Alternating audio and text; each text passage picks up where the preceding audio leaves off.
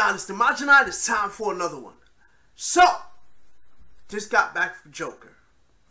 And, um, yeah, I enjoyed the movie. Now, as you know what we do here, we always go with the bad stuff first, and we roll it up to something positive when we get one out of here.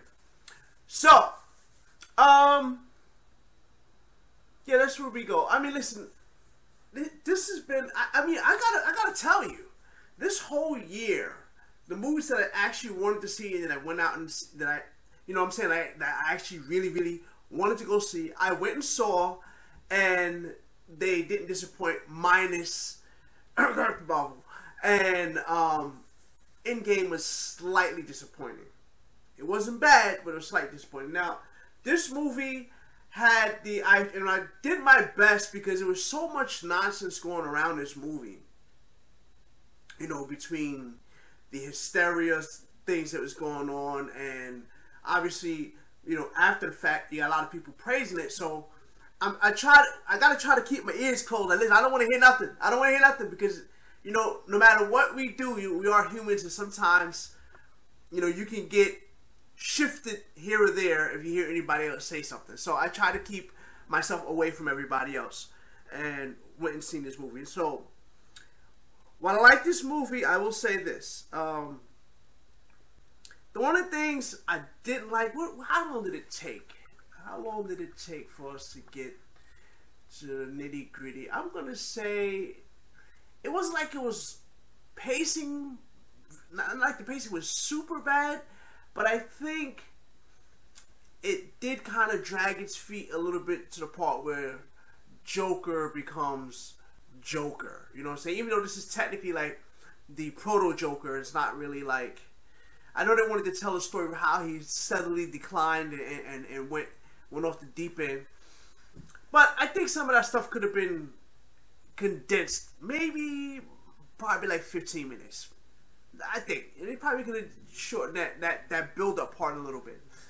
Um, really, that was like my really only big issue with it because, and again, when when it comes to my my reviews, I try to be as vague as possible. So it kind of gets difficult for me trying to word these things away without giving away things because my thing is, yeah, how I would like people to. Uh, get a good idea what the story's going I I also want you to go see the movie, especially if it's something I like. Now, I know we're skipping ahead, but there's a movie coming up at the end of this year that I'm pretty much, I want to give you fair warning now. There's probably going to be spoilers with that movie. Just because my duty with the, in regards to that movie is to prevent you from having to go through nonsense. So, um, there's that. That's a little preview for a couple months down the road, but that's neither here nor there. Now back to this. Um, like I was saying, I, it's difficult for me to try to praise the movie without giving things away. So I, I try I'll try to make this as short as possible without trying to go super crazy with it. Now, like I said, the thing I found, you know, I had a little issue with was, you know, it dragged on a little bit, just a little bit. I want to say it was super bad, but I just think it could have, it could have, like I said, could have moved up a little bit. Now, the things I like. Now, Zazie Beetz being in there, she's she was definitely a selling point for me. Good lord. Anyway, um, her being in there, I thought it was gonna be something else, but the twist to that was nice. I will say that. I'm trying. I'm just gonna give you a little pointers to look for. Um. Oh, you know what? I will say the issue with his mom, how he resolved it. I really wasn't feeling that. I know I jumped a little bit. I just thought about that just now. The way he resolved his mother issue, um, I I really wasn't feeling that so much. Uh, you know, again, I'm trying to be vague as possible because I do want you guys to go out there and see this movie. Um,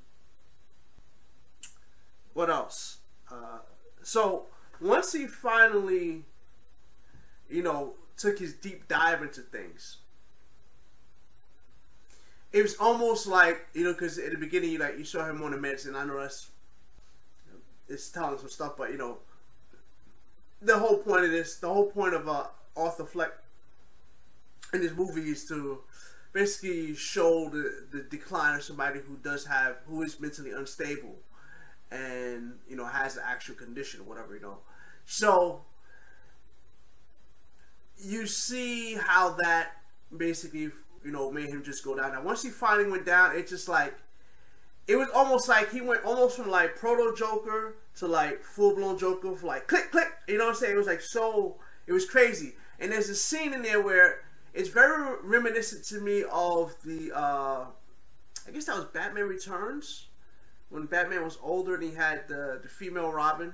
It was the the the uh, Frank Miller. What's the Frank? Yeah, Frank Miller version. It's something in there that, that kind of it, it, was reminiscent to me, especially with the the comedy show, or well, the late night show. Um, it, it kind of had that feel to it. Now, I, I did I did like the fact that you saw where where his following came from and how he became so so much of a influence because the turn of events that went through there revolved around spoiler I won't say this much revolved around Thomas Wayne and of course I'm not gonna give that away either. So I, again, I'm trying, I'm trying, I'm trying to, I'm trying to work around this so I don't mess to spoil too much for you. So uh, I, I think I'm gonna probably just. I'm not gonna go super crazy with this. I'm not. I'm not. I'm just gonna wrap it up right now because I don't. I I want to go into things, but I don't want to tell you things. I want you guys to go see it. So what will I say? What will your boy D give this movie? I'm gonna give it a seven and a half. You know, I'll be nice. I'll give it an eight. I'll give it an eight because it did what it was supposed to do. That's that's how I rank things. Did it do what was? Uh, did the movie do what it was set out to do? It showed the decline of Joker, and did it do it well? Yes, it did. Um, obviously, the the slight pacing issues and the way he resolved the mother issue, I did have an issue with that a little bit. Just because the, the especially with the part of the mom, it just seems like I get it, but I just seems like I don't know. You know what I'm saying?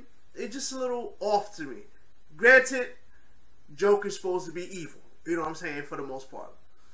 Now, like I said, I want to give it an eight because it did what it was supposed to do, and basically is that you know, like I said, this year has been relatively good for me, minus those two movies I saw that really wasn't all that for me. You know what I'm saying? Um, again, that's how I really rank things. Was the movie? Did the movie go out and do what it was supposed to do, and was I entertained by it? Was I able to, you know, immerse myself in this world that they created and feel like it made sense in, to the things?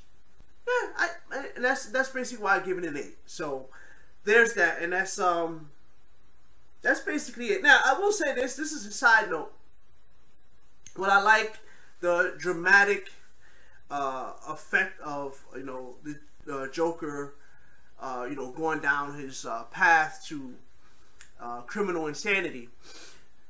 I almost, I mean, I, I like that but to me, like when you think about what Joker is capable of and like the things he's done to Batman, I almost wish that they would have had had given him um, a little bit more of a military background. You know, something like that would show that his like like a genius criminally. You know what I'm saying?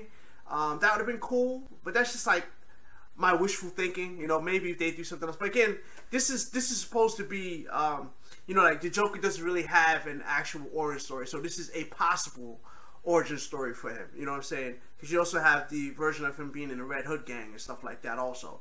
Um, but that's basically it.